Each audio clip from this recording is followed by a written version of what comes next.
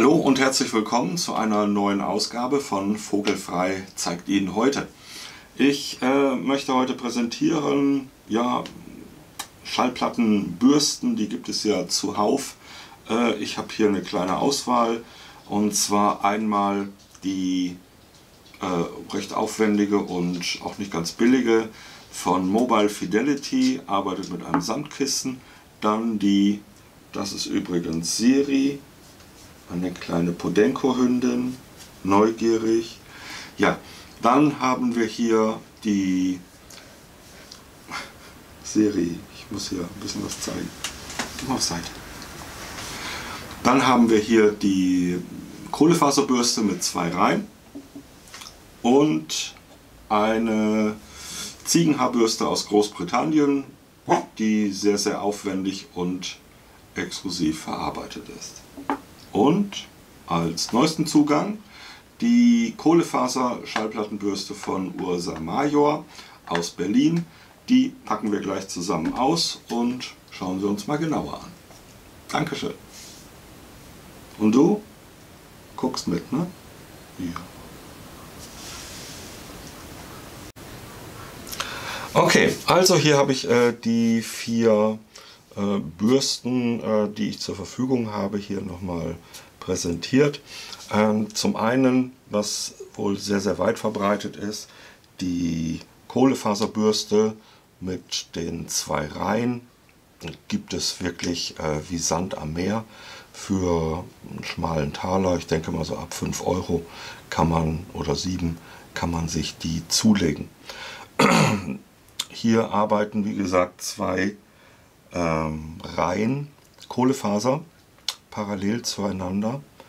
Äh, was ich nur wieder immer wieder festgestellt habe, ist der Nachteil, dass zwar die Staubpartikel auf der Schallplatte sehr, sehr schön zusammengeschoben werden, aber wenn ich sie dann aufnehmen möchte, äh, ich mit dieser Bürste doch größte Schwierigkeiten habe. Genauso dreht es sich hier um eine Bürste aus äh, reinem Ziegenhaar.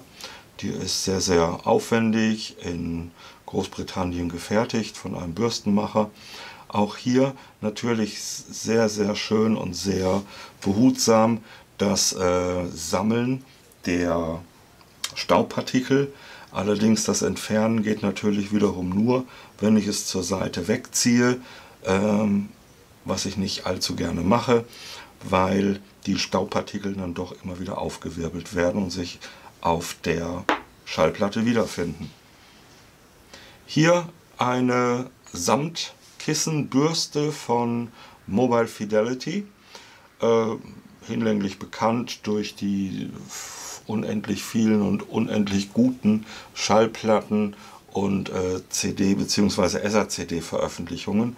Die haben sich hier auch Gedanken gemacht. Ähm, dieses Samtkissen ähm, hat den Vorteil, dass ich damit nicht nur den Staub sehr gut einsammeln kann, sondern durch eine Aufwärtsbewegung er dann auch hier haftet. Gut, das sind die drei Mitbewerber. Jetzt schauen wir uns an, was wir hier aus Berlin geschickt bekommen haben. Ich habe es natürlich schon mal aufgemacht und äh, reingeschaut und auch ausprobiert. Urs Major steht drauf, Ursa Major, Entschuldigung. Ja, äh, der lateinische Begriff für das Sternbild des großen Bären. Äh, so mit dem Bären bekommen wir dann eben auch als äh, Symbol für die Stadt Berlin die Brücke geschlagen. Ja, es ist äh, nicht mehr, was bei Ihnen ankommt, wirklich nur dieses kleine Schächtelchen. In meinem Fall war hier oben die Adresse draufgeklebt und die Briefmarke. Ähm, Finde ich aus verpackungstechnischen und Umweltgründen äh, schon mal sehr, sehr löblich, dass hier auf viel Kunststoff verzichtet wurde. Hier an der Seite äh, wurde meine Rechnung eingefaltet und eingelegt. Äh, die Ursa Major Bürste kostet 48 Euro. Müssen wir mal eben schauen, ob da etwas dazu kam. Nein, 48,50 Euro inklusive Versand. Dann holen wir das gute Stück mal raus.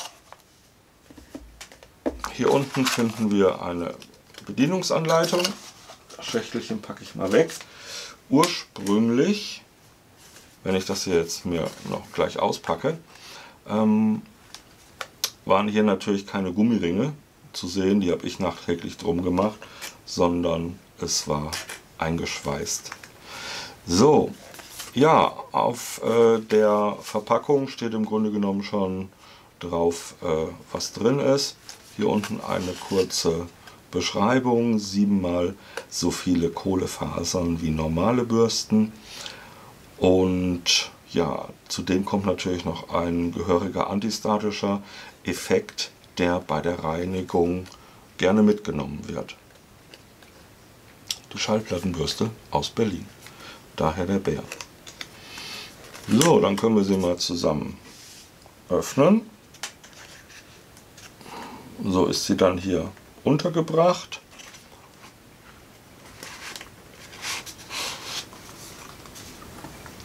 Nochmal in einer roten äh,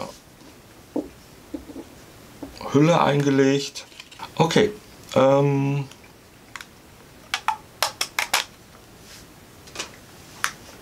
so. Die Bürste an sich hat hier oben eine sehr, sehr schöne Echtholzeinlage, in meinem Fall hier aus Nussbaum, gibt es auch in Birke. Auf der Seite sind hier nochmal, äh, ist nochmal der Markenname eingeprägt, Ursa Major. Und so sieht sie dann von unten aus kann ja mal versuchen, sie hier ein bisschen näher ranzubringen. So. Ja, es sind ähm, sieben Doppelreihen Kohlefaser und der große, die große äh, Besonderheit hieran ist, dass sie nicht äh, einfach flach aufgelegt sind, sondern hier einen leichten Bogen beschreiben. Ähm, das hat den großen Vorteil, dass diese Bürste beim Reinigungsvorgang nicht zur Seite weggezogen werden muss, sondern ich äh, lege sie schräg an, lasse die Platte rotieren und ziehe sie dann so nach oben ab. Dadurch habe ich äh, mit der vorderen Reihe zunächst einmal den Staub gesammelt und mit den hinteren Reihen durch das Drehen und Anheben habe ich äh, den Staub tatsächlich hier in der Bürste gesammelt. Äh, sollte so benutzt werden, dass ich das immer von der Seite einschiebe, damit ich nicht äh, versehentlich die Borsten umknicke, wenn ich sie so von oben einlege. Außerdem ähm, kann man dieses äh, Teil hier sehr, sehr schön als Reinigungshilfe benutzen, denn so schön und verlockend die Oberfläche aussieht, bitte niemals mit den Fingern berühren. Der ja, Fettgehalt der Haut bleibt natürlich äh, daran haften und das kann für die Reinigung nicht gut sein. Das heißt, äh, auch nicht an, an der Hose oder an irgendwelchen Kleidungsstücken abwischen, alles verkehrt. Nehmen Sie einfach diese Hülle, setzen Sie sie so auf und ziehen Sie sie einmal runter. Dann bleibt der Staub hier drin hängen und ich kann es einfach wegpusten. So, das ist die schöne Ursa Major Bürste. Die Betriebsanleitung gibt natürlich im Grunde genommen das wieder, was ich Ihnen jetzt eben erzählt habe. Keine große äh, ja, Hexerei, äh, wie das gemacht werden soll. Es ist, wie gesagt, nur dringend darauf zu achten, die Bürste niemals zu berühren, die Bürste nicht an der Kleidung sauber zu machen, sondern hier abzuwischen, die Bürste nicht stumpf von oben einfach einsetzen, sondern seitlich einschieben, So ist sie immer sicher in der Nähe des Plattenspielers aufzubewahren. Und beim eigentlichen Reinigungsvorgang diese Bürste nicht zur Seite einfach wegziehen, sondern mit dem vorderen Bürstensatz den Staub sammeln und durch eine Aufwärtsbewegung wegnehmen. Ja, viel mehr gibt es dazu nicht zu sagen. Äh, Ursa Major, die Bürste ist auf jeden Fall mein neuer Favorit und steht immer griffbereit neben meinem Plattenspieler.